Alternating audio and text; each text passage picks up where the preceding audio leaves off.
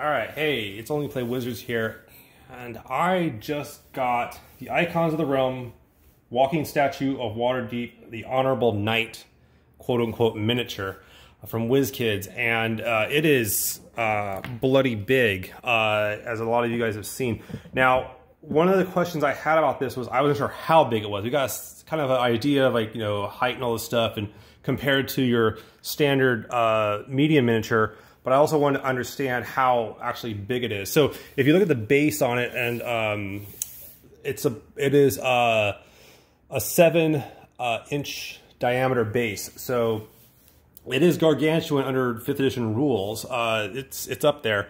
Um, but real quick about the miniature, uh, it's great detail. It's big. It's heavy. Um, the one thing on this, I actually have to tell you that I really was surprised at, and I really love, is the clear base. Uh, miniatures with such a big base, especially when they're not eating up a lot of like the real estate of it, so he only has two feet versus like a dragon has like you know four feet on it and a low belly or something. You can actually see through it, and that makes it great for um, showing off the terrain if you have a cool mat. Um, if you're playing it on uh, trying to do some photo shoots with it, whatever, it lets you really uh, keep your terrain uh, uh, coming through. So, um, and also that's the beauty of this piece too. Is you you know uh, you can certainly use this as like the creature itself, but also just as a piece of um, uh, terrain. This would this the clear base really helps on that. Uh, it comes in four pieces. It is the main body, the base, uh, the right hand, and the left hand. Uh, they go on pretty easy. They're they slide right on in. They're not posable at all. Uh, he is what you get.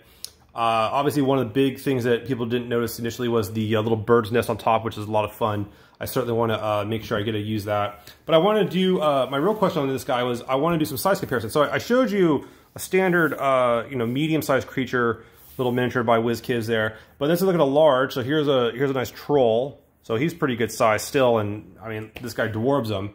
But I wanted to go more in depth, and uh, I have access, since I still, I, I have all the uh, the gargantuan miniatures uh, that have ever been made by D&D um, and WizKids uh, I wanted to show those off in comparison. So the first one that ever came out was the uh, big old gargantuan black dragon, and we thought this guy was a monster. And looking at him now, he he ain't much. Um, he gets dwarfed out pretty hard. The other thing that's interesting about this animated statue miniature too is that a lot of the lar- these gargantuan miniatures they've done have largely been dragons um, or the kraken or something like that, but they haven't done a lot of bipedal ones. Uh, the, the black dragon comes pretty close to being bipedal in terms of its pose, but it's not a classical bipedal creature. The only one they really ever did was the Orcus miniature, which you can see here. And once again, he is just, uh, the demon god of the undead is just dwarfed as well. Um, but those are a little older. Those are from uh, 3.5, kind of 4th edition era. But if we go to the contemporary era, um, and we look at, say, uh, Tiamat, uh, you can still see this thing is, I mean, it just eats it. Uh, he's ready to crush Tiamat there with uh, so much of a stomp. But now the big question was this, and, and I emphasize the word big, was how does this guy compare? How does the animated statue compare to the Gargantuan Red Dragon? The Gargantuan Red Dragon is like the biggest miniature they ever made. When it came out, the word miniature was put in quotes a lot. But how does this guy compare to, to that thing? Well, I finally got my answer, and I was a little I was a little surprised.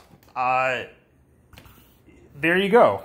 There is your side-by-side -side comparison of the Icons of the Realm animated statue with the Gargantuan Red Dragon. The statue is not taller. Uh, the dragon has about three quarters of an inch on him. Uh, in addition, the base of the dragon is eight inches versus seven inches.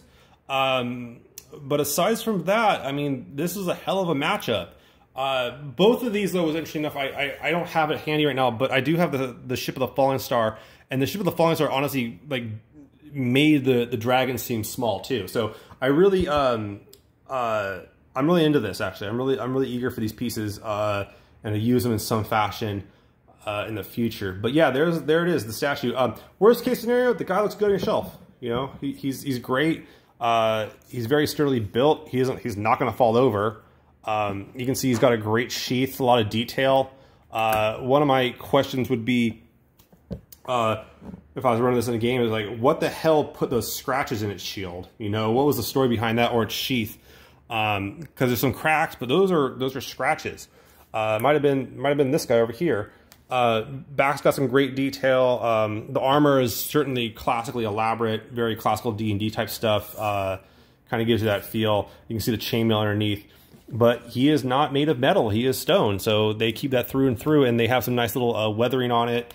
Um, and I'm actually eager to see some people possibly repaint him. Uh, maybe do a little bit better stonework on him uh, than this uh, the job they, they did at the factory. But uh, yeah, that's it. So there you go. Uh, Icons of the Realms, um, walking statue of Waterdeep, the Honorable Knight is out, and he is large, but not quite as big as this guy over here. But he's certainly uh, he's certainly command some respect from your players if you, if you put him out. So all right, thank you very much, guys. Later.